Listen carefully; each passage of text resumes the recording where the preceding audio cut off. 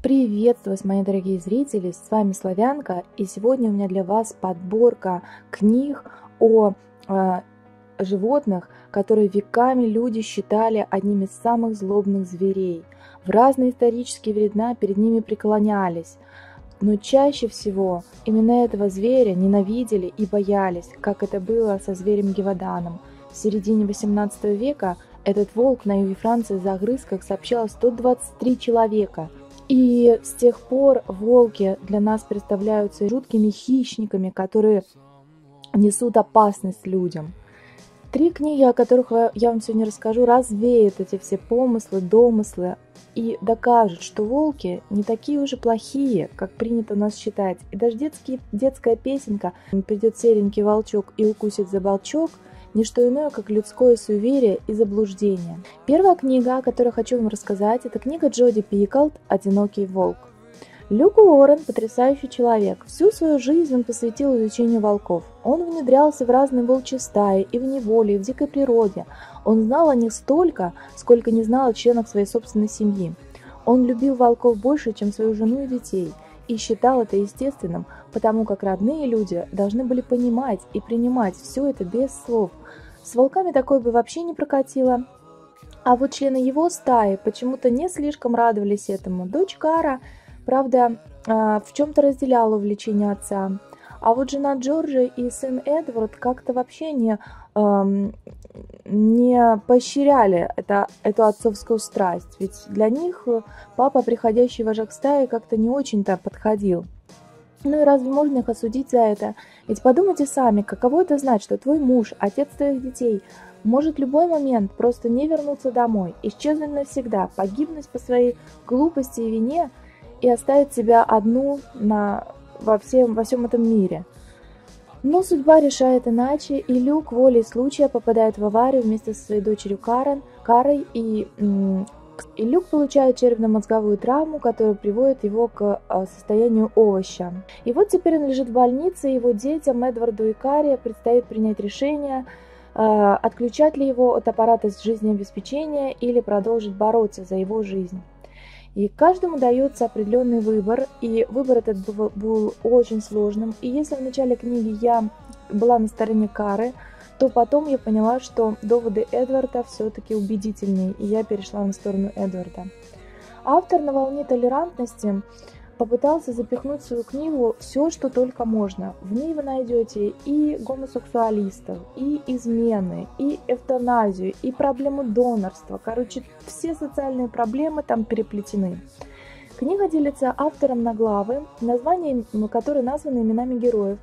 Так что, если вам не нравятся все эти жизненные драмы и э, переплетения проблемы семейные, там медицинские термины и э, судебные прения – то вы просто можете не читать главы, касающихся членов семьи Люка, а читать просто главы Люка. Именно в главах от имени главного персонажа Люка происходит самое интересное, на мой вкус. И это интересно связано именно с волками. Именно в этих главах автор подробно описывает жизнь человека в стае.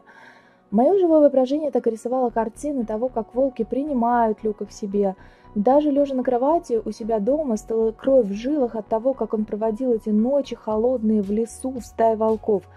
Спасибо огромное автору за столь тонкое и живое описание. Конечно, в книге поднимается тема неприятия семьи Люка такого уклада его жизни. Ведь они его не понимали и не хотели с этим мириться. А кто захочет мириться с тем, что человек в своей семье предпочитает волчью дикую жизнь? Я думаю, таких не, немного найдется. Отсюда и название книги – Люк до конца оставался одиноким волком, который не мог прижиться ни в своей собственной семье, женой и детьми, ни в стае волчьей, от которой он был вынужден убежать и уйти. Книга достойна внимания, книгу рекомендую почитать, даже если вы не любите драмы, прочитайте просто кусочки, посвященные Люку, и я думаю, вам она должна понравиться. После Пиклд и ее художественное описание жизни волчьей стаи мне захотелось чего-то более научного и документального. И вы знаете, она нашлась. Это книга канадского зоолога Фарли Мауэта «Не кричите, волки» она называется.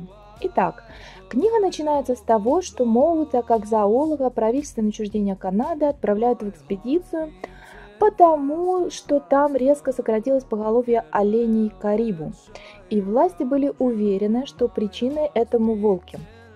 Да и вообще, у них вот уже руки чесались поохотиться на серых кровожадных хищников, надо было просто оправдать свои действия.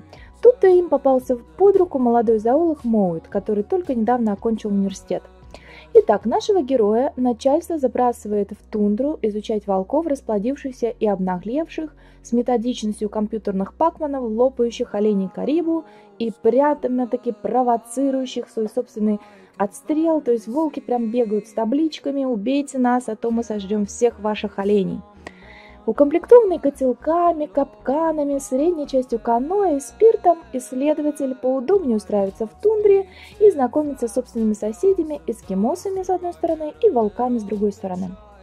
Совместно с эскимосами он осваивает халявный спирт, с волками пытается, за волками пытается наблюдать. И первый же итог наблюдений слегка шокирует автора. Почему-то число оленьих скелетов растет по направлению не к волчьему логову, а к жилью людей. Автор искренне интересуется волками и сам по себе человек наблюдательный, так что книга содержит массу познавательных сведений о санитарах тундры, об их повадках, особенностях семейной жизни, охоте. Главная волчья добыча никак не олени карибу, а многочисленные тундровые грызуны, к потреблению которых на обед решил приобщиться наш автор. Отдельно спасибо ему за подробнейший рецепт мыши в соусе, как заскучаю, обязательно обогащу свой рацион и домашних порадую новым блюдом. Моуэт ироничен и даже самый ироничен. Чтение этой книги превратилось в приятное, веселое времяпрепровождение. Не надо думать, что автор только и делал, что наслаждался наблюдением за повадками и образом жизни волков. Он старался не забывать о бесчисленных побочных исследованиях, которые ему были навязаны э, правительственным учреждением. Слух писатель очень простой, легкий, все повествование насыщено юмором, никаких супернаучных терминов там вообще нет, все доступно и понятно. Моут раскрывает перед читателями таинственный мир волков, и уважение к этим животным растет в прогрессии с количеством прочитанных вами страниц. Особенно доставляет обложка книги, одна из обложек книги, выпущенной в нашей стране, на которой написано «Не кричите, волки». Но ё-моё, после увиденной морды на обложке невозможно не кричать и в приступе паники или истерики. Как будто это не книга натуралиста, а ужастик Стивена Кинга. Вы посмотрите как-нибудь. Это просто жуть какая-то. Но книга хорошая, читайте. Первые две книжки написаны от лица человека, как он познавал волков. Именно человек выступает наблюдателем за жизнью стаи. В последней же книге, о которой сегодня расскажу, в книге Дороти Херст, мы посмотрим на человека глазами волка. Повествование в книге ведется от лица волчицы, которая пройдет труднейший путь страданий и приключений э, к дружбе э, с человеком. Каала, так зовут нашу главную героиню-волчицу, единственная, а, которая осталась живых с всего помета, потому что ее мать нарушила закон стаи и понесла от чужого волка. Каала была вынуждена выживать в стае и доказывать своим сородичам, что она не просто так осталась живых. Из-за необычной идеи повествования от лица волка книга захватила с первых страниц. Читать было легко и интересно, текст лился плавно, идея очень оригинальная. И поскольку это не было похоже ни на что другое, прежде мной прочитанное, то было особенно увлекательно. Книга на грани фэнтези и прозы. Нетривиальный сюжет, необычная манера повествования приводила в восторг. Но были и некоторые минусы, конечно же. Это некоторые слова, которые резали слух, использовал их автор странно, потому что, о, повествование Дороти ведет о 14 тысяч лет до нашей эры, время 14 тысяч лет до нашей эры, а слова такие используют, например, гидравлический. То есть, ну, странно, да, что в это время знали значение слов гидравлический. Да, и чрезмерное человечение волков как-то их поступков как-то вот напрягало немного. Сначала нет, а потом вообще напрягало. Причем главная героиня Каала это небольшой волчонок, то есть сначала она вообще маленький волчонок, а к концу книги даже ей еще нет года, а суждения у нее такие взрослые, опытные женщины, про, про, прошедшие огонь и воду медные трубы – ну да ладно, это я так при... прикапываюсь уже к мелочам. Классно автор описывает жизнь волчьей стаи. Мы видим эту жизнь глазами волка, мы видим эту жизнь, э, мы чувствуем все правила, а, структуру стаи, повадки волков и так далее. Я думаю, что автор очень хорошо изучила весь, все эти моменты, и это по правду, по праву можно считать лучшими страницами этой книги. Читайте Дороти Хёрст, рекомендуйте эту книгу детям, подросткам, да и вообще, почему бы всем остальным, она без возрастных ограничений, так сказала. Итак, если вы прочитаете все эти три книги, которых я сегодня рассказала, то значительно расширите свой, свои представления о волках, и, возможно, это заставит вас взглянуть на лесных хищников по-другому. На этом все. С вами была Стайленко. Всем пока!